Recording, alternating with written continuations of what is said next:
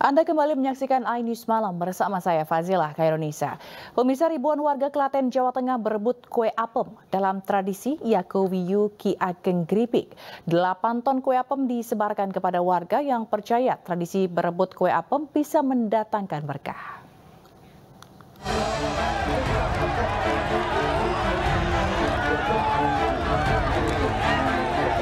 Ribuan warga Klaten, Jawa Tengah berebut kue apem dalam tradisi Saparan Yokowiyu di lapangan Sendang Pelampian, Catinom, Klaten, Jawa Tengah. Delapan ton kue apem disebari sebagai rangkaian tradisi Yokowiyu Ki Ageng Ribik yang dipercaya mendatangkan berkah bagi warga. Dengan sukacita, warga berdesakan, saling dorong, berebut mendapatkan kue apem. Bahkan tidak sedikit dari warga yang sengaja membawa jaring dan payung untuk bisa mendapatkan kue apem tersebut. Warga percaya apem tersebut bisa mendatangkan berkah bagi mereka.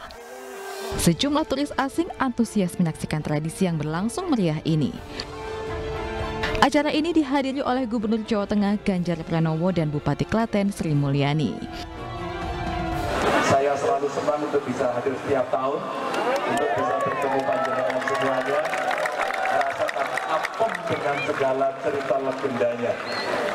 Ibu Bupati baru saja cerita, Pak Gubernur, apem mesin tahun ini itu kasih utuh begitu dari tahun ke tahun kami terus berbenah agar masyarakat dari Klaten, dari Solo Raya atau Jateng DIY berkunjung untuk mencari berkah lah untuk mencari apem ini biar semakin nyaman kan. Tradisi ini sudah berlangsung sejak abad ke-16 yang diprakarsai ulama Ki Ageng Gribik dan terus dilestarikan hingga kini.